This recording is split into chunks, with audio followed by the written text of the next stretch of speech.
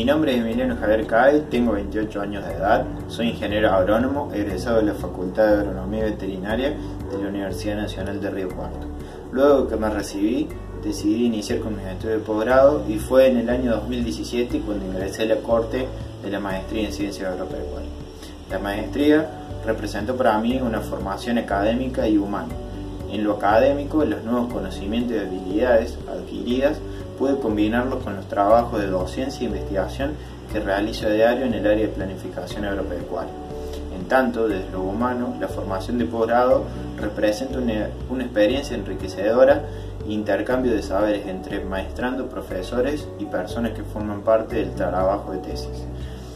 Actualmente estoy terminando de escribir mi tesis y este posgrado representa una base para continuar mi desarrollo académico.